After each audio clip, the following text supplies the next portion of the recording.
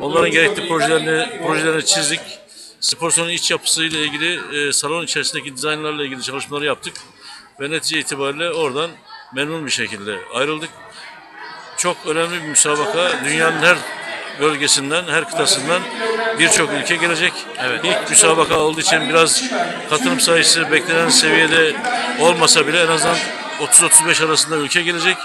Bu da çok önemli bir müsabaka. Zaten 15 gün önce Düsseldorf'ta da 30'luk ülke vardı. Evet. Bizde de bu, bu en az bu seviyede sporcu Tabii. ülke katılımı olacak. Tabii 2012 olimpiyatlarının sonrasındaki yıldayız. 2013'teyiz. Evet. 2016 olimpiyatlarına doğru ivme kazanacak. Grand Bu sayı tabii ki artacak. Şu an artacak. ilk sene olduğu için Gittikçe artacak ve bizim hedeflerimiz e, tahmin ediyorum 2016 yılında aynı zamanda olimpiyattan önceki en son puan toplama müsabakası olduğu için buraya katılan ülke sayısı kesinlikle e, 100'ün altında değil 120'nin üzerine de çıkabilir.